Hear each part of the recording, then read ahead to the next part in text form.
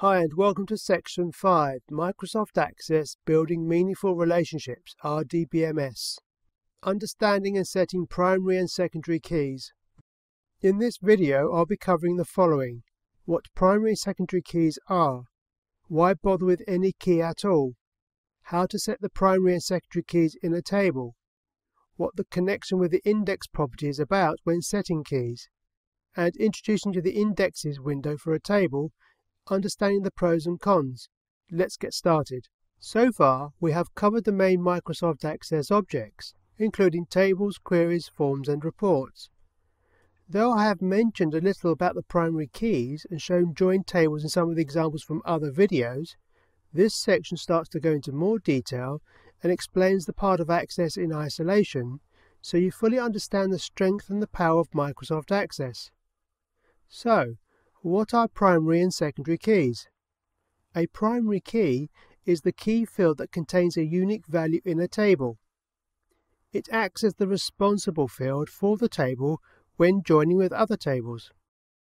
Most tables should really have a primary key, the ID field, as you want to capture a unique ID reference for a record. A primary key cannot be left blank, which is known as not null, it's therefore a mandatory field and forces this validation. The auto-numbered data type is the ideal candidate for primary keys, as this data type is self-generated by Access. Secondary keys can also be set for a field, but they contain duplicate values instead, which is the main difference to primary keys being unique values only.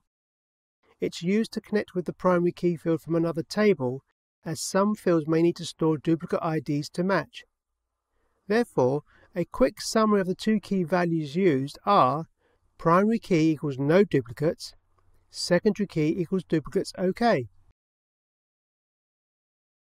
Why bother with any key at all? You can use just Microsoft Access and neglect to use any type of key, but this can have issues as the database volume grows over time. The benefits of using a key are primary keys will maintain unique data values, validating the record's integrity. All keys will actually speed up the queries, forms and reports when they are being executed. Primary keys are more important than secondary keys, which are deemed optional. However, secondary keys are also useful for non-related joins with other fields too, as a quick way to mark a field for special use. As you run queries, which drives the forms and reports, it will prioritize fields with set with keys when it's being executed. No keys? Without them, the larger the database volume is, the slower your database will be over time. Keys will help keep the management of larger volumes of data. So, if joining tables or queries together, as would be the case for any typical Access database, then use keys. Now that we know the reason why we use Access keys, let's go and set these keys up in our tables. I'm going to open the Customers table in Design View.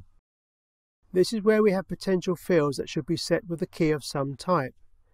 If you have identified a field to be the primary key for a table, the easiest way to set one field as the primary key is as follows. Select the row or anywhere in the row for the field in question. I'm going to set the Customer ID field. Click the primary key icon under the Design tab here.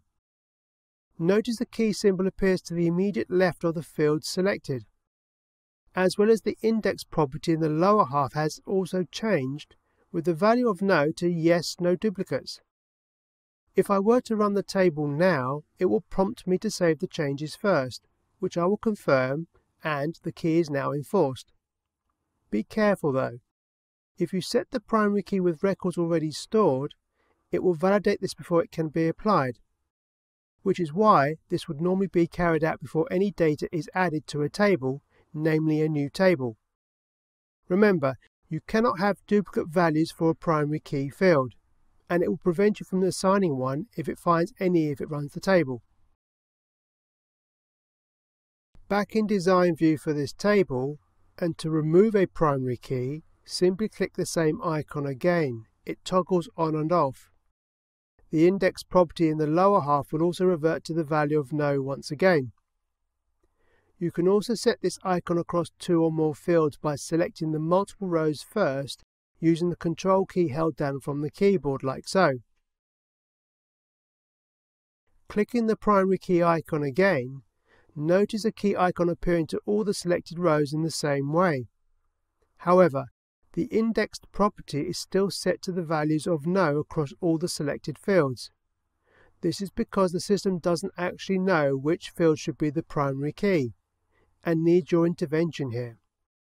So the question you may be asking right now is, why have a key symbol for all the selected fields when only one should be the primary key? And the icon really implies this. The answer is that the keys actually also applies to secondary keys too, though it doesn't say so. Therefore, you now really need to apply each field's indexed property, which will make it either a primary key or a secondary key, or if it's left as no, have no key, even though there is a symbol set for it. In fact, the key symbol is only for show, and it's actually the index property that really matters here. You could even leave this key symbol out altogether. I'm leaving it on for information, but will now set the index property as follows.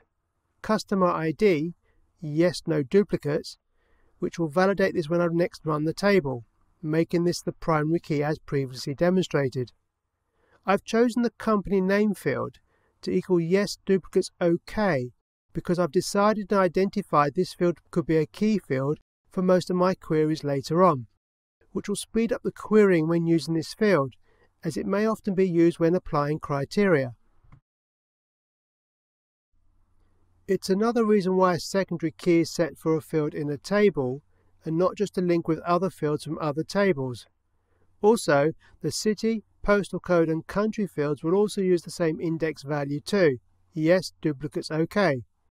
The country field is included here because it will eventually link to a table called countries by its unique primary key, which I will set up in just a moment. Run the table and save the changes, and then close the table. Next, opening the countries table in design view, I'm going to set the first field and set this as the primary key. Running the table and saving the changes along the way, applying the validation, and if you can see the list of all countries, then it's ready. The country ID field will link with the customs tables country field, which is now a secondary key. And that will speed up the connection when both tables are called together in a query or other objects. You may have noticed this field is an incrementing number that is being linked to the customers table country field, when in fact this field looks like a text value when I view the country field here. In its design for the selected field country, you'll see the data type is also set as a number, though it appears as text. This is because under the lookup tab here, it uses an internal query, an SQL statement, binding the first column, the country ID field, from the countries table like so. The reason you just see the text is because the second column, the column width property is set as follows 0 centimeters, 3 centimeters, 0 centimeters, hiding columns 1 and 3. And it still holds the unique value, its ID number, because the property bound column is set as 1. Let's take a look at the employees table and continue to set fields here the employee ID as the primary key, last name and birth date fields as the secondary key.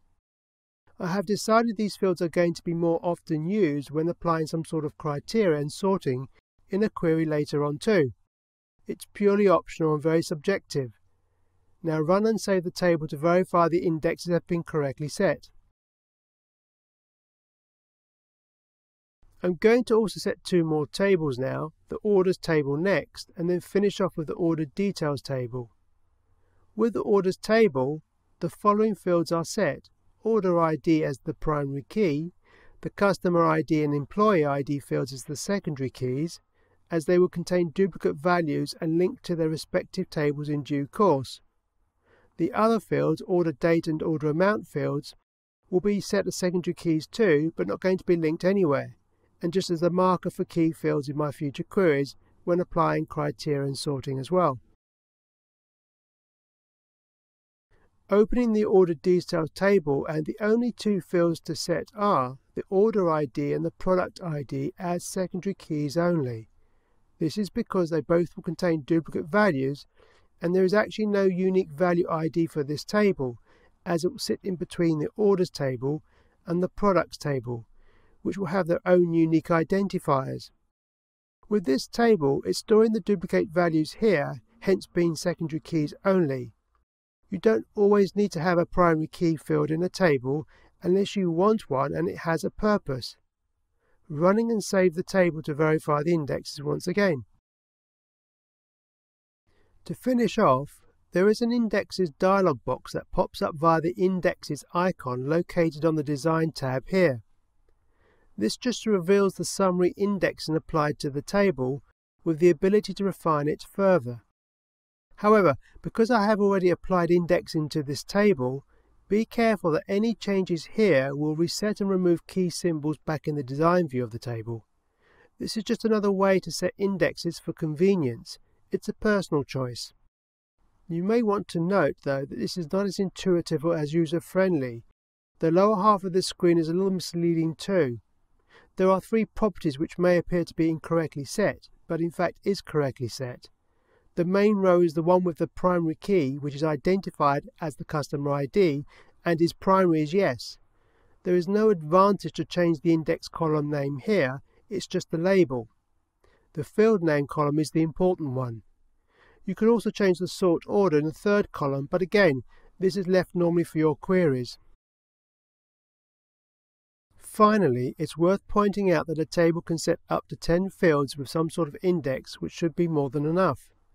The reason for this is that even though setting indexes for fields speeds up your queries, forms and reports, it actually slows down the general application's performance of Microsoft Access and there needs to be a balance between running large volume of data for reporting versus the overall performance of your computer's memory. It's a technical consideration, but keep the fields that really need to be indexed to a minimum.